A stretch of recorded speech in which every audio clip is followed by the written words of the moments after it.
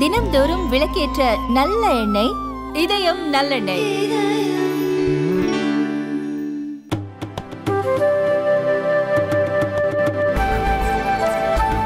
கர்நாடக அரசில் பணியாற்றும் ஊழியர்களுக்கு பழைய ஓய்வூதிய திட்டம் செயல்படுத்தப்படும் என்று அறிவிக்கப்பட்டது போல தமிழகத்தில் எப்போது அறிவிக்கப்படும் என்று பாமக நிறுவனர் ராமதாஸ் கேள்வி எழுப்பியுள்ளார். அவர் வெளியிட்டிருக்கும் அறிக்கையில் கர்நாடக அரசில் பணியாற்றும் ஊழியர்களுக்கு பழைய ஓய்வூதிய திட்டம் செயல்படுத்தப்படும் என்று அறிவிக்கப்பட்டிருக்கிறது.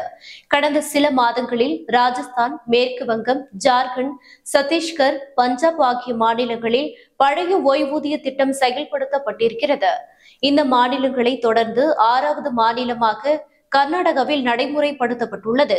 இந்தியாவில் இரண்டாயிரத்து நான்காம் ஆண்டு ஜனவரி ஒன்றாம் தேதியிலிருந்தும் தமிழ்நாட்டில் இரண்டாயிரத்து மூன்றாம் ஆண்டு ஏப்ரல் ஒன்றாம் தேதியிலிருந்தும் புதிய ஓய்வூதிய திட்டம் நடைமுறைப்படுத்தப்பட்டு வருகிறது. தமிழ்நாட்டில் பழைய ஓய்வூதிய திட்டத்தை செயல்படுத்துவதில் எந்த சிக்கலும் இல்லை. ஆனாலும் பழைய ஓய்வூதிய திட்டத்தை செயல்படுத்த தமிழக அரசு தயங்குவது ஏன் என தெரியவில்லை.